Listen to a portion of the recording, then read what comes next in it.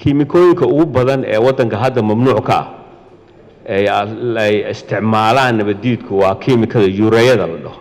Ammonium nitrate la yidhaahdo ammonium nitrate waa run way ka sameeyaan laakiin yureeyada ama kushiimada aftalyaaniga haddii la yidhaahdo waxaa jira mid handful ah oo caafimaadka iyo laga samayn kara iyo mid aan laga samayn karin. Hay'addan sideedaba waxaa loogu talagalay inay kor u qaaddo oo ay ilaaliso abuurka waddanka soo galo noocyadiisa.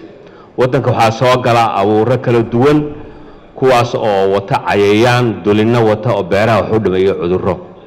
Haddii aan la samaynin hay'ad kontaroosha tayada waxyaalaha beeraha ama inbutka beergashiga ay ka mid yihiin abuurka ay ka mid yihiin bacriminta ay ka mid yihiin kiimikooyinka lagula dagaalamo cudurrada beeraha sida fungicideka insecticideka kuwa shimbiraha waxyaalahaasoo dhan haddii aan loo samaynin shuruuc.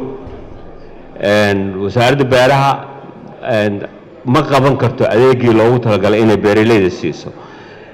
Qodobka kale uu yidhi khubarada beeraha in la tixgeliya hore wasaaraddu waa khubro hore iyo khubro dambe. Dad ka shaqeeya waa aqoon-yahano beero intooda badan.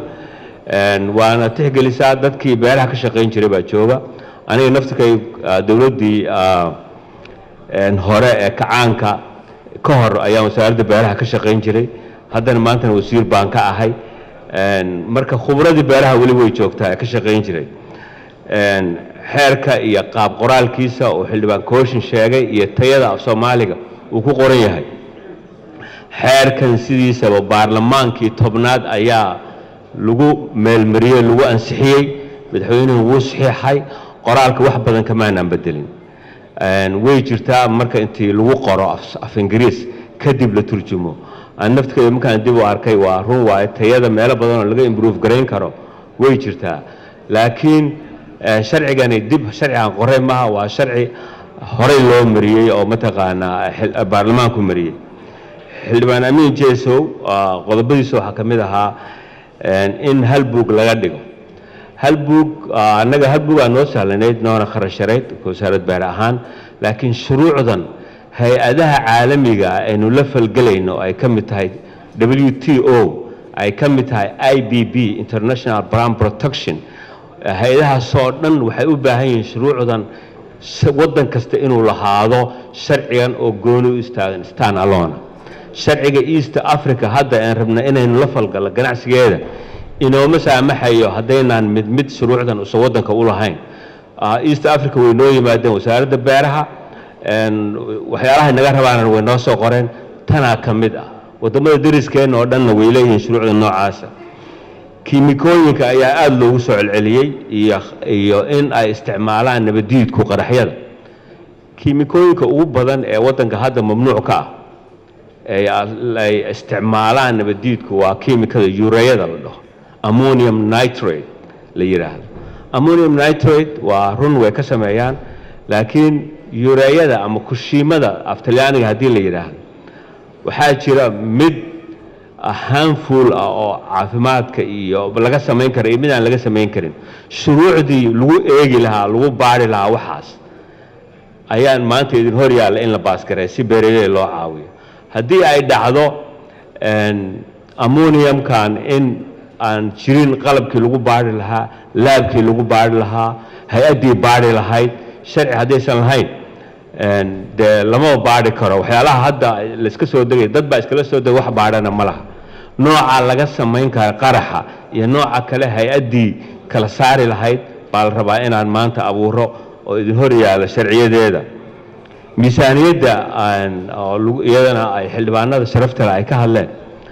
Waa run miisaaniyadda hay'addan waxaa weeye infrastructureka wixii waxay u baahan tahay hay'addan dhismayaal bay u baahan tahay laab bay u baahan tahay qalabkii laabkay u baahan tahay.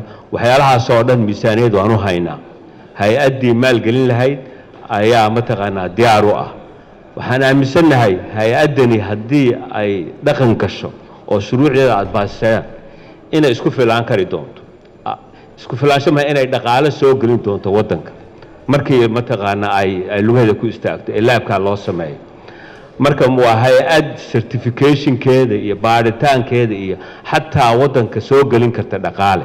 Iyada oo ka hortegaysa kiimikooyinka faraha badan ee waddankeena sharci darre ku soo gala oo maanta loo nisbaynayo cudurka kansarka ee kor u kacay waxyaalaha aada loogu xidhiidhinaya waxaa ka mid a kiimikooyinka sharci darrada waddanka soo gala.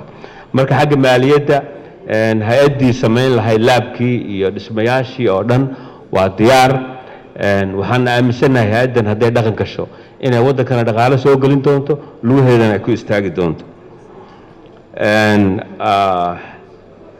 Kharash xildhibaan cabdisamed kharashku isna ka hadlay shuruucda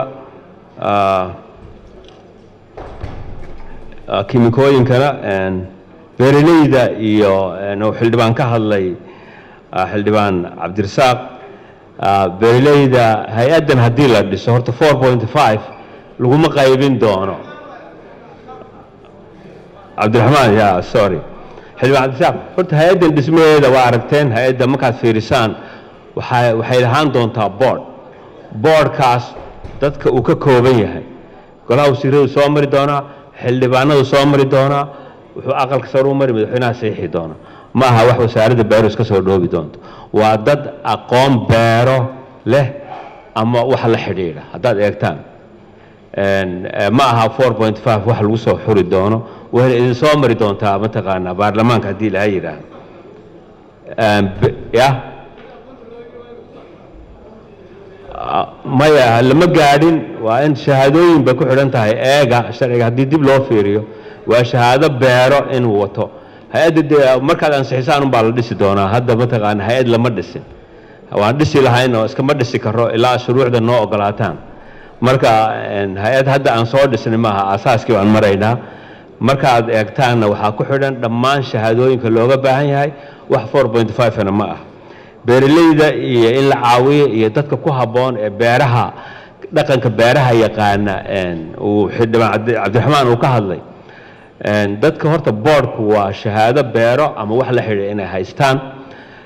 Dadka beeraleyda waxaad ogtihiin inay ka soo barakaceen dhulkii beeraha oo i d b noqdeen sharcigan haddii la baasgareeyo wuxuu sahli doonaa dadkii beeraleyda ee soo barakacay ee dhulkoodii ka soo barakacay in dib loogu celiyo iyada oo mataqaanaa shuruucdoodii kiimika ku habboon koshiimo aan fertilizers ku habboon waddanka ay ka soo degayaan caafimaadkooda ilaalinayo. Marka xildhibaan cabdiraxmaan sharciga haddii la baasiyo beeraleyda waxay awoodi doonaan inay dhulkoodii ay ku noqdaan wax beertaan. Haddii ay mataqaanaa amniga ay ku xidhaan wax walba la helo. Waa mahadsantihiin kani waa premier walad lacag ugu dir saaxiibkaaga. Ugu adeego meel kasta. Ku bixi biilasha. U dir hana lagaaga soo diro meel walba. Ka maamulo akoonkaaga iyo kaarkaaga premier bank la soo deg maanta oo ku maaree kuna horumari noloshaada dhaqaale. Premier walad